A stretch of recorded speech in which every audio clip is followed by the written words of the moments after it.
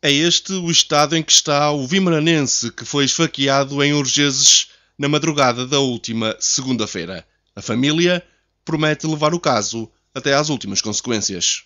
Espero que seja feita justiça, porque o que aconteceu hoje ao meu marido pode acontecer amanhã a outra pessoa ou até matar, porque foi no rosto, se fosse na garganta, tinha, tinham morto, infelizmente, não é?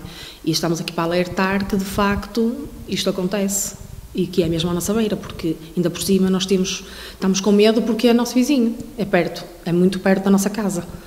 E estamos com receio, agora estamos, ele está no hospital, mas quando regressar, se voltar a ir a pé ou se quiser ir a pé, vai com medo, porque sabendo que se ele for sair, se ele sair da, da instituição onde está, se sair, vai encontrar e vai com medo porque ele sabe que ele mora ali.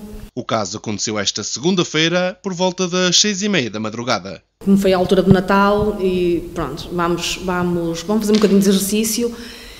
Vou a pé. E eu, não, eu até lhe disse, não, não vás porque tá, o tempo está assim no voeiro, está chuva, não vás. E ele disse, não, não faz mal, também refresco, vou vinha a descer o Castanheiro, eh, depara-se com um senhor que vem em direção a ele, ele tenta se desviar para o outro lado da rua, ele vai contra ele, diz-lhe bom dia e dá-lhe uma facada no rosto. Por norma, as pessoas vêm no passeio, não vamos com a intenção de magoar nem ferir ninguém. E ele nunca pensou, passa tanta gente na...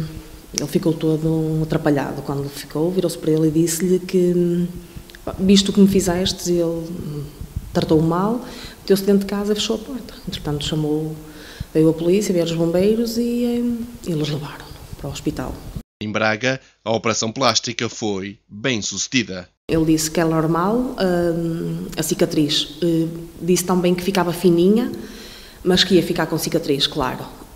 E em relação aos dentes, a parte de cima não tem, não tem dentes nenhums, vai ter que pôr, não é? Porque estão todos partidos. Com o impacto da, do, do bater foi, foi muito grave. A zona do rosto, esta zona aqui e, os, e o maxilar, os dentes, eh, foi principalmente foi isso. Tenho o rosto marcado. Agora segue-se um longo período de recuperação. Se recuperar bem, ele diz que entre quatro dias vem embora. Quatro dias vem embora. Mas em princípio vai ficar se calhar até ao fim de semana e logo a seguir veremos. Quando é que poderá regressar ao trabalho? Disse bem? Não, não disse, mas que tem uns longos meses pela frente de recuperação, porque não tem dentes e tem que fazer a parte da cirurgia pronto, dos dentes. E o médico só disse que de facto tinha uma longa, uns longos meses. Quantos dentes é que partiu? Olha, não sei a quantidade de dentes que partiu. Sei que em cima não tem nenhum, partiram todos. Eh, os únicos que têm são os molares, mas estão, eh, estão laminados. Porque a lâmina cortou-lhes e eles estão, estão laminados. Agora, Embaixo tem dois, o médico disse que tem dois. Eh, não estão partidos, mas abalou a raiz. E só ao abalar a raiz vai ter que os tirar, porque eles provavelmente vão cair ou vão, vão doer. Eh, por isso tem que tirar, tem que tratar desses dois. Podem não sair já, mas que mais tarde sim tem que os tratar.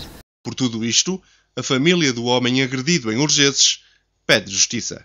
O processo nós sabemos que está no Ministério Público, vamos agora, eu fui à polícia, saber e ele vai nos dizer, pronto, estamos à espera que nos diga, que o Ministério entre em contato connosco, mas entretanto nós vamos ver se conseguimos interpelar e ver se, se metemos um processo, porque de facto isto não pode acontecer, não é? E é muito grave, o meu marido está mesmo muito mal.